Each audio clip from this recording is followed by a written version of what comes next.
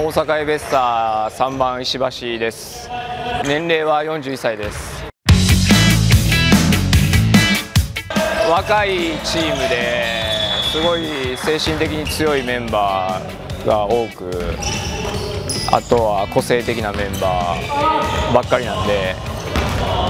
まあ強いと思います。年齢っぽくない動きをできればやりたいなと。切れてる動きをなんとか長時間ではないですけど、はい、短い時間でもできたら、はい、そうですね意外にチーム数が一部多かったんでまああのいろんな特色のあるチームも多いですし、まあ、大変盛り上がるんじゃないかなと思います。優勝ですね。もう優勝以外考えられないのと、まあ、僕自身